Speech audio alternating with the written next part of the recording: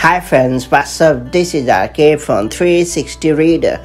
Right now, I'm going to have to save reminders lists as PDF files on iPhone and iPad. Do you want to keep a copy of all the reminders in a list as a PDF file? Perhaps you want to share a soft copy of your shopping list with your roommate who doesn't use an Apple device. Thanks to a recent addition, you can finally save reminders lists as PDF files easily from iPhone or iPad. That being said, it's time to learn how to save reminders lists as PDF files on iPhone and iPad the quick way. Before getting started, make sure you have subscribed our YouTube channel and hit the bell icon so that you won't miss any update from 360 Reader.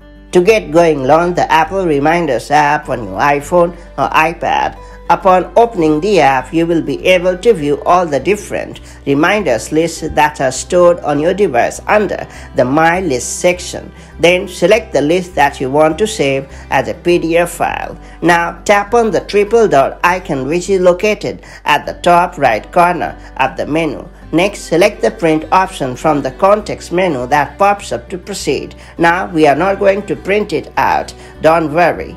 In the print options screen, you will see the preview of the page. Then long press on this preview to enlarge it. Now simply tap on the enlarge preview to continue. This will give you access to the hidden share option. Now tap on the share icon at the top right to bring up the iOS share sheet. Now scroll down to the very bottom of the share sheet and tap on Save to Files. This will bring up the file manager on your device. Simply select the folder or directory where you want to store the PDF file and then hit save and that's pretty much it. You have successfully saved your reminders list as a PDF file on your iPhone or iPad. It's worth pointing out that keeping your reminders as a PDF file has its advantages. First of all, you can send it to literally anyone and they would be able to open the file on their devices, whether they use an Apple device or have an iCloud account. Secondly, if you don't have a printer